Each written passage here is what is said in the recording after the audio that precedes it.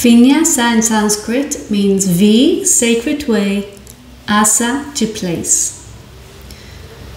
It increases muscle strength, flexibility, cardiovascular function, respi- respiratory capacity, and improved bone density.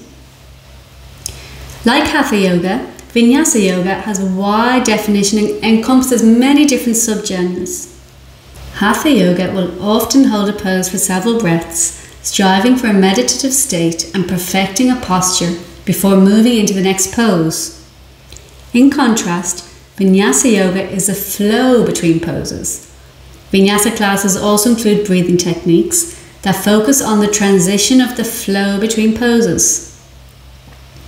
In Vinyasa, the synchronization of the breath and movement is an important part of the practice. Ashtanga Yoga is a subcategory of Vinyasa and follows the same predefined sequences in every class.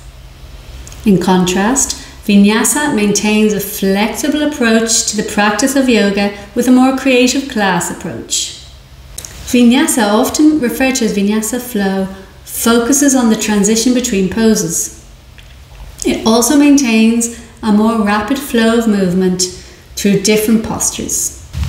The structure of vinyasa flows will vary greatly from class to class since the definition of the style is so broad. Due to its faster class pace, many people are drawn to vinyasa classes for its fitness applications.